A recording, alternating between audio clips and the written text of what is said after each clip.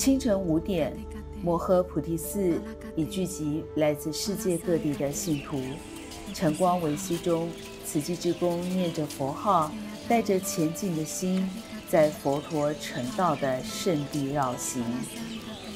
菩提树下，志工们诵读无量易经，每一句经文都在传递佛陀的慈悲智慧。如同这群跨越三千七百公里，来到印度普陀迦耶的慈济志工们，仿佛跨越时空。与佛陀正悟的境界交汇，体会佛法的慈悲与智慧。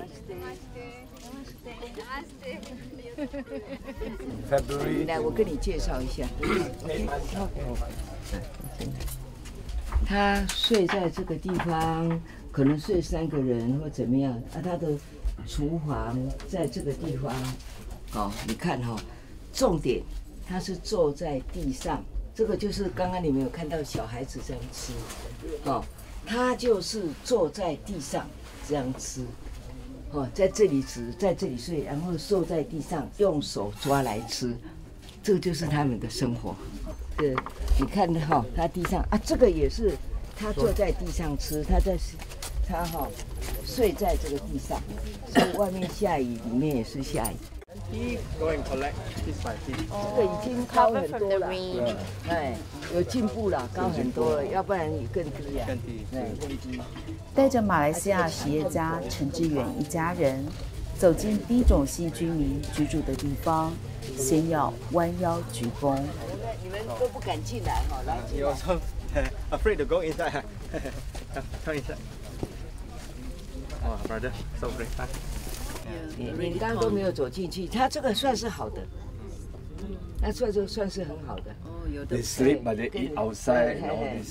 他这个这一次啊，你还看到有这个红砖呐，红砖呐，而且你也比较高，看起比较高。原来不是，原来都是这样。一家人可能要到五口到六口都，对，都很紧张啊，一家人，啊。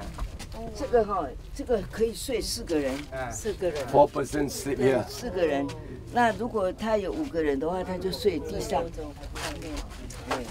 哦，富有之人走进苦难，才有机会见苦知福。现在这个是他跳。一百步上去，听他对了。他才听个，他现在是超越他的生命五十年。这个超越他生命五十，他自己也说，他。他说他如果没有没有上人的话，没有慈济的话，他在三辈子三代也不可能改变的。今天也是这样讲。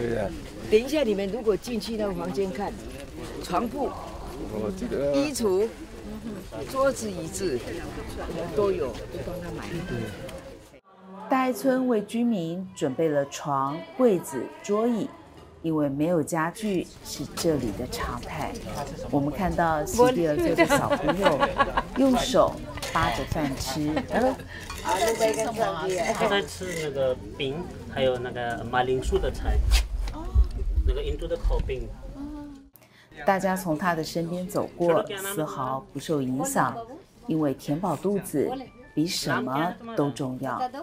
你给他，他也不会玩。阿 use。五门给我。五门。无语。三岁。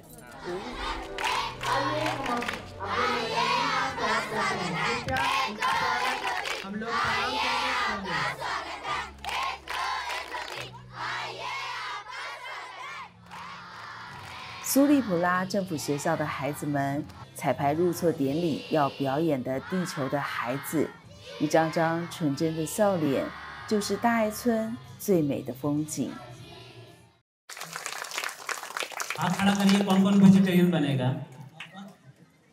你们相信吗？我们上人在三千多公里之外可以看到你，然后呢，那么样的爱你们，在他一直期待之下。我们的大爱村完成。一位村民带着激动与感恩，呼吁乡亲一起发出誓言。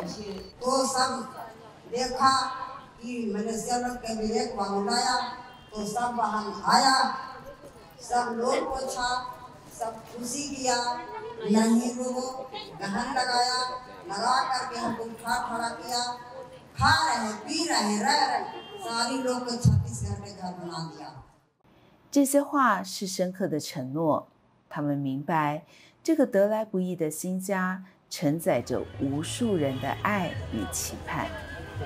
你要带动全村的人要有爱心，不要贪东西，说你再给我，你再给我，而是要自己努力。对，来未来这些都是要自己努力来展示自来购。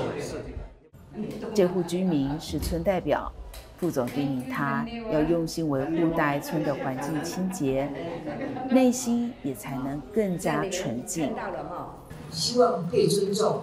就是第一个，把环境整理干净，然后不喝酒，不吃肉，素食。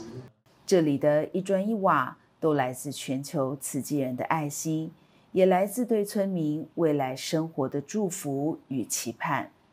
大爱屋为村民带来的不仅是遮风避雨的家，也是在这里播下未来的希望。